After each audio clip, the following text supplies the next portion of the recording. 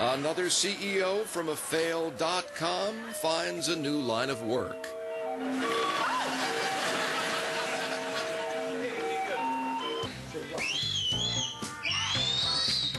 Look, Curious George found Waldo.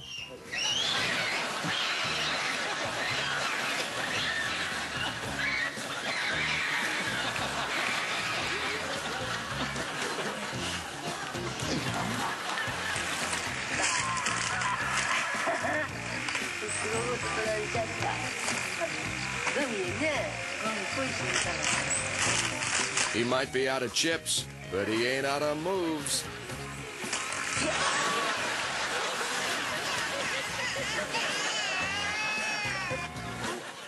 The most amazing thing about the great apes, they're so much like us.